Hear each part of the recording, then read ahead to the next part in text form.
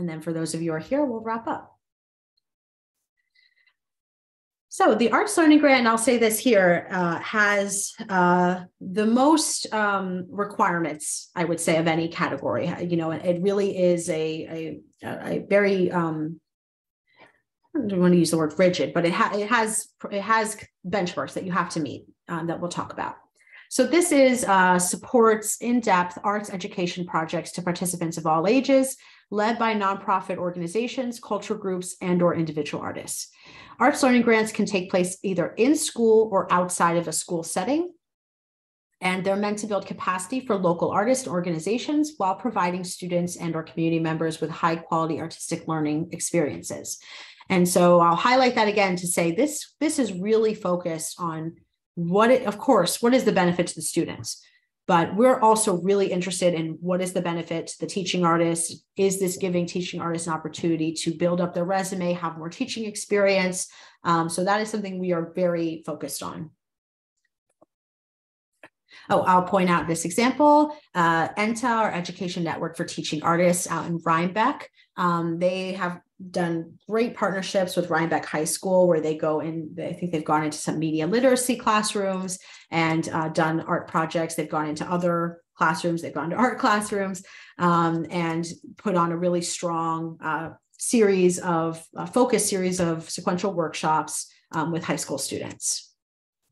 And um, in their situation, they typically end up working with multiple classes. Um, you're not required to work with multiple classes. You could work with one class, but depending on the school you're working with, they might want you to work with um, uh, multiple uh, multiple classrooms.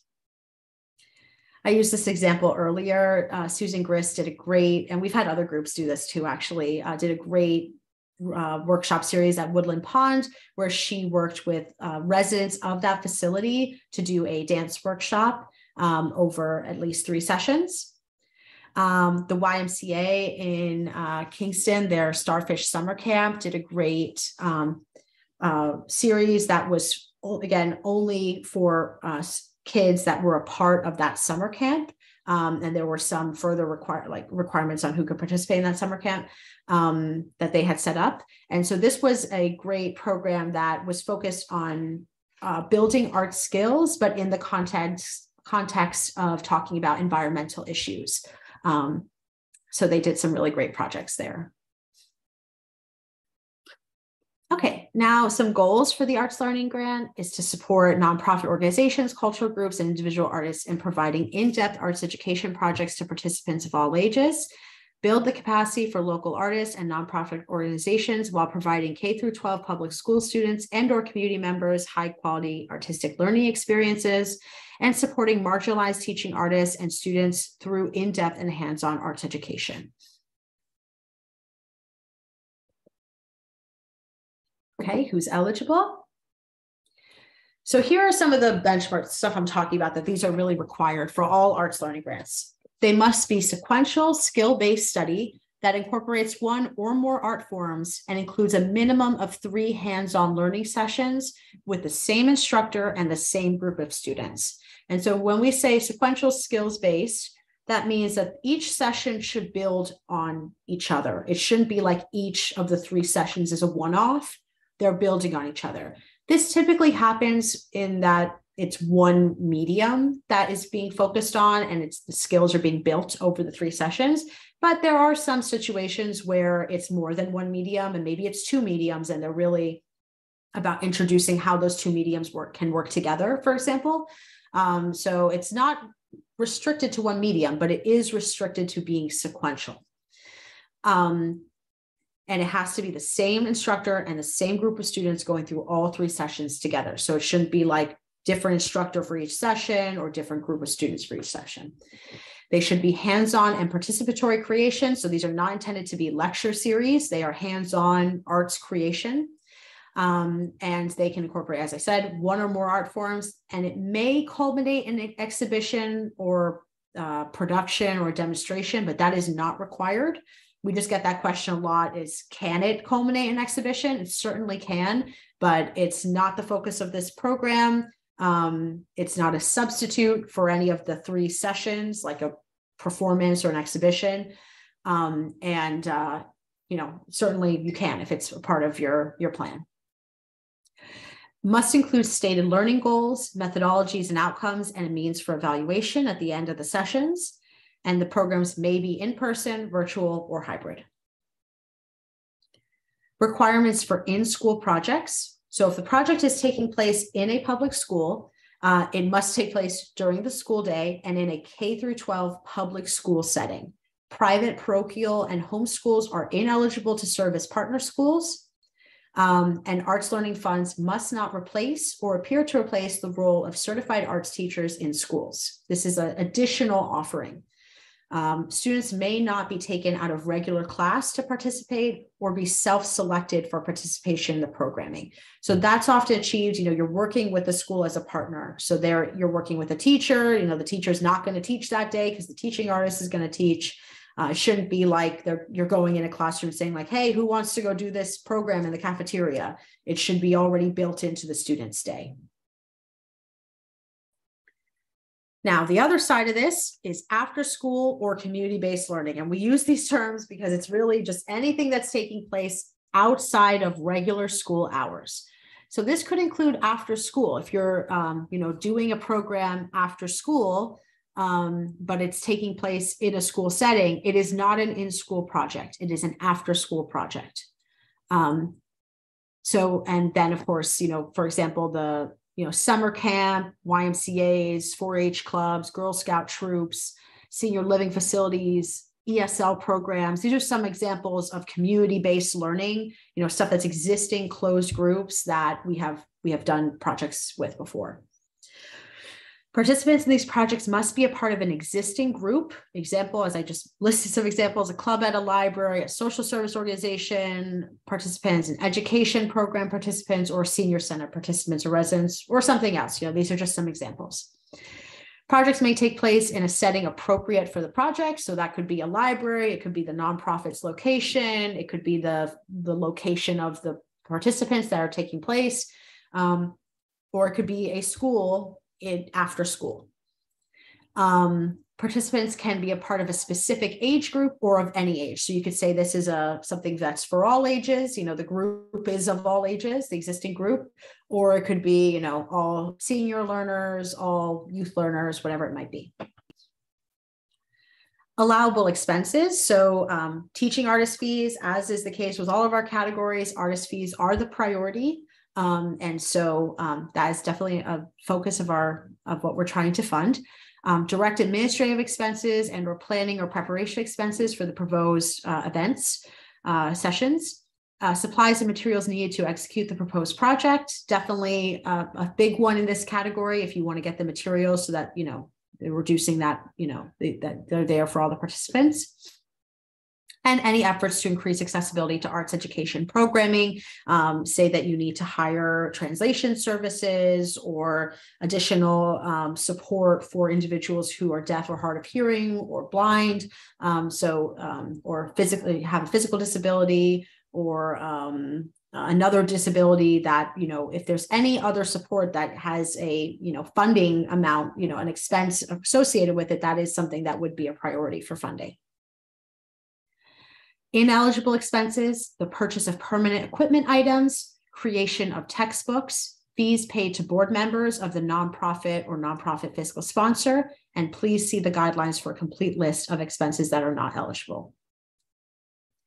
A word on inclusion here. So arts learning grant funded projects are not open to the general public. This is the only category where it's not open to the general public.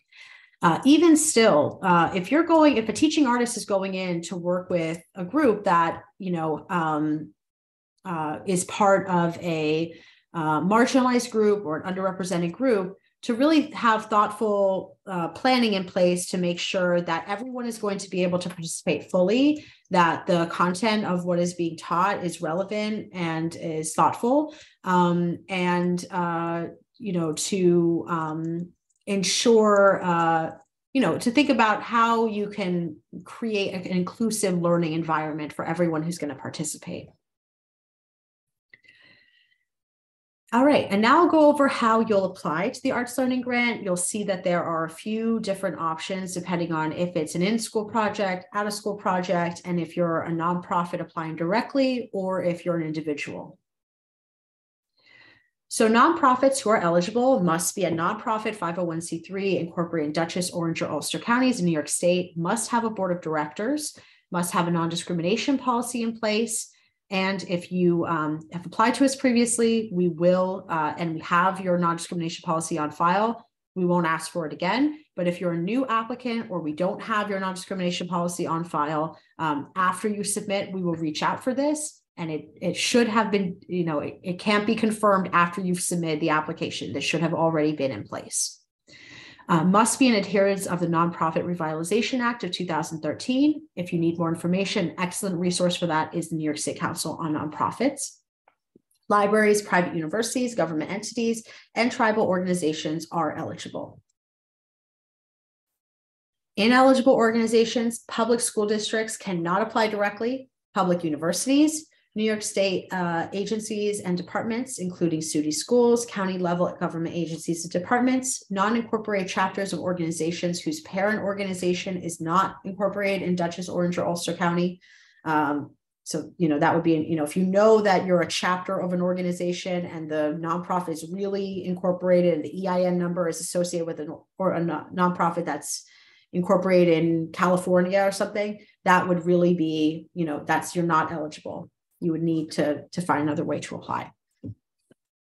Arts Mid-Hudson and our staff and board are not eligible for the Arts Learning Grant or any of our grants.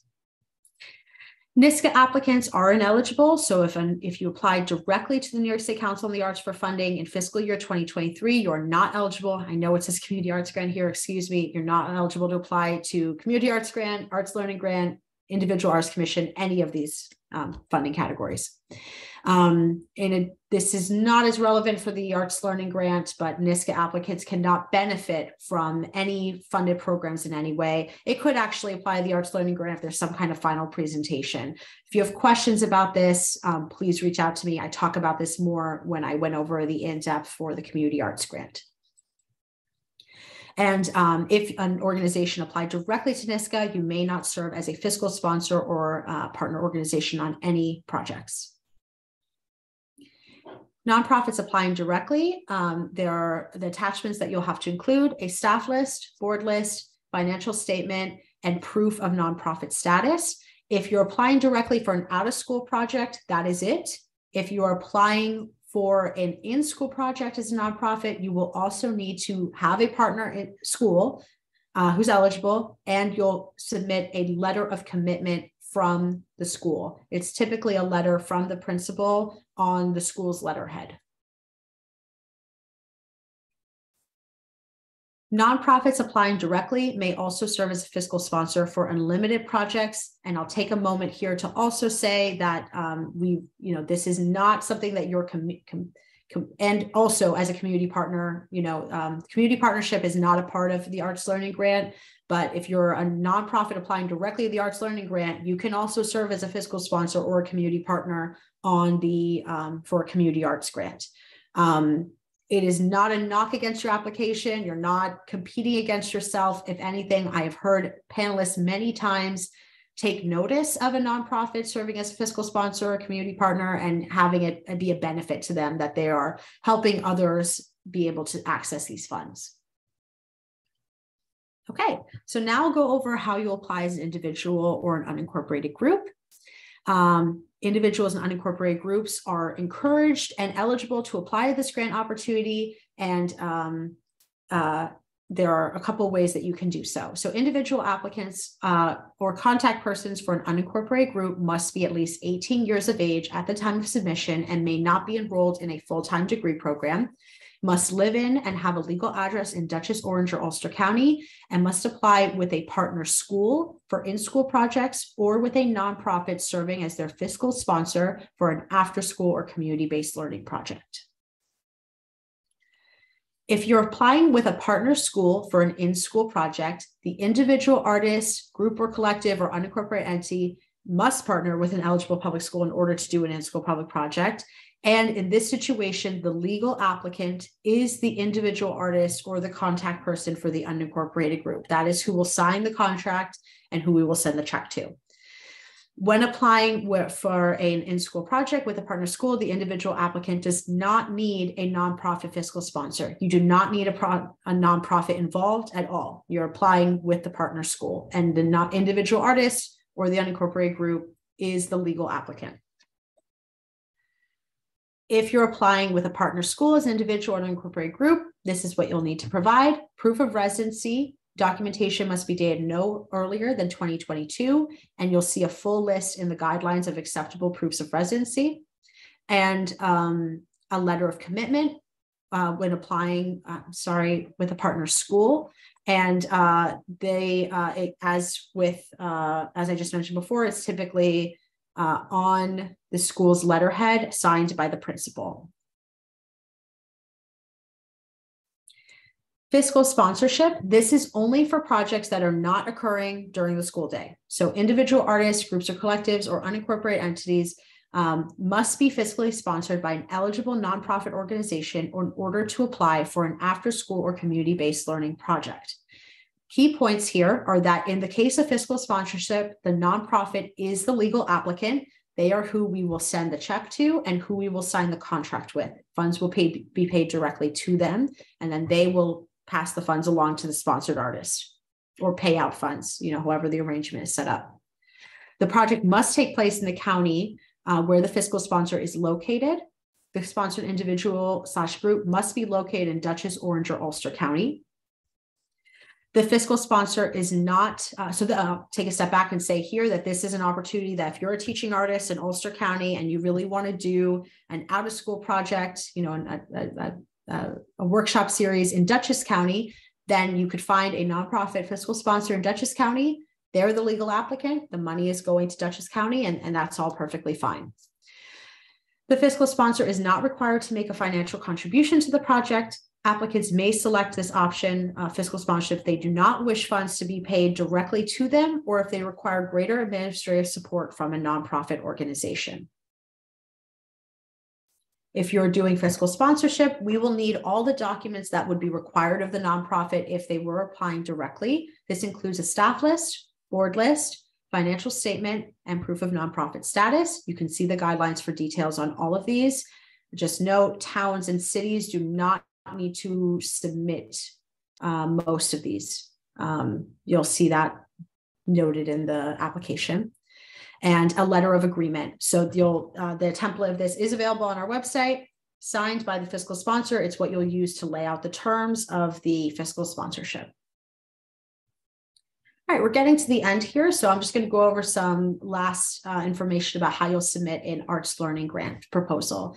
Again, the deadline is March 16th, 2023. If you require any assistance in submitting this application, you know, uh, feedback, brainstorming, draft review, budget review, uh, help access, getting access to a computer, help with the application itself, do not hesitate to reach out to us and we will, as we always do, try to go above and beyond to make sure that you're getting the assistance that you need.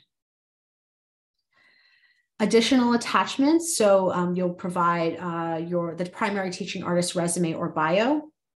Work samples, these are optional but highly recommended, up to 10 files. And for the Arts Learning Grant, this is typically, um, you know, uh, maybe examples of the teaching artist teaching, examples of the artist's work, the teaching artist work, examples or demos or mock-ups of what the students might create, uh, examples of, of student work that the teaching artist has, you know, taught those students previously. Um, you'll see that there is an area on the application that asks for any notes you have related to the work samples that you've uploaded. And that, especially for the Arts Learning Grant, is helpful to say like what is what. Um, and if you have additional documents like letters of support, press articles, or marketing samples, you're welcome to include those. Tips for the budget I recommend working on the budget and the narrative together, um, or uh, even better, working on the budget first because it can really be a map for the rest of your, propose, uh, your proposal. Check for consistency that if you change, say, in one place early on, you thought there were going to be 20 participants, and as you worked on the project, you realized there are really going to be 25 or 30, right? Make sure that then you um, you know, do maybe a find on the document and make sure that you've changed that number everywhere as to not create a distraction to the panel or a, confu- a point of confusion. Use the explanation column. You'll see that the budget form is embedded on the application itself. It has some categories for different line items like artist fees, art supplies and materials, and so forth. There's an explanation column and then a column where you'll put the dollar amount. The explanation column is really important because that's how you show us how you got to that dollar amount. And the panel isn't wondering, you know, why is there, uh, why is it all, you know, it's all going to artist fees. There are three artists involved. Are they all getting paid the same amount? Are they getting paid different amounts? Using the explanation column is your way to make sure that those kinds of questions do not come up and that it's all very clear. Uh, check the guidelines double check, triple check the guidelines for allowable and ineligible expenses.